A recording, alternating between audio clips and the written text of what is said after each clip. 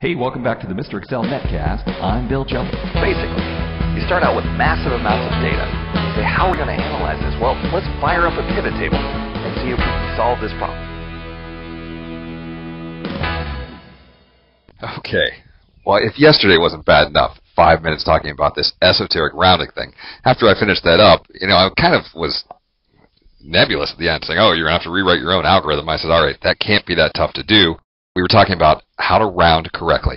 If the last significant digit is a 5, in school we were always taught to round that up to the next whole number, but yesterday, go ahead and watch yesterday's podcast for the painful details, I showed how that actually introduces a bit of bias. And the ASTM E29 rule says that if that last digit is a 5, uh, you should round towards the even the other times down, and they make it round to the even number. So a little bit of tweaking to that VBA code that I wrote yesterday Remember I said yesterday the VBA round function rounds correctly, um, but only when the precision is 0, 1, 2, 3, 4, and so on, not when it's negative. So I wrote a little function here called banker round, uh, and it says, hey, we're going to get two arguments, the number we want to round and the precision. The first thing I check to do is see if the precision is greater than or equal to 0, and at that point I just turn it over to Microsoft and let them use the VBA round function which does it correctly. Otherwise, that's when I need to write my own code.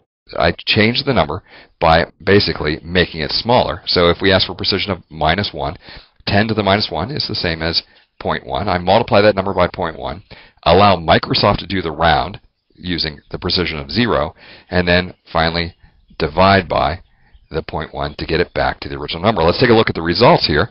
I set up a couple of different test cases. Here's 5.15 and 5.25 rounding to one decimal place, and both of those round to 5.2.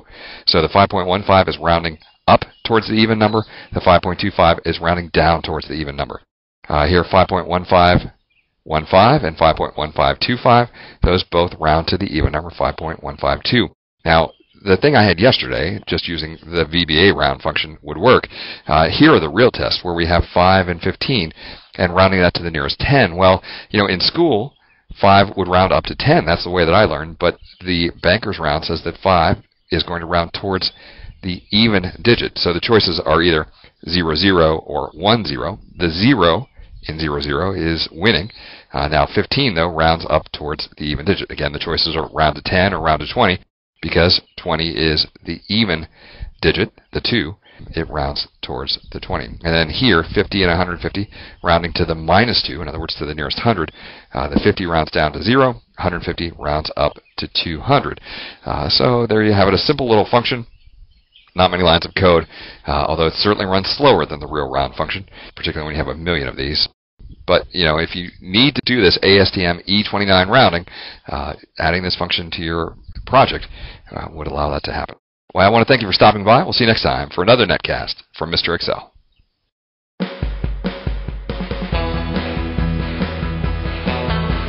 Well, thanks for stopping by. We'll see you next time for another netcast from Mr. Excel.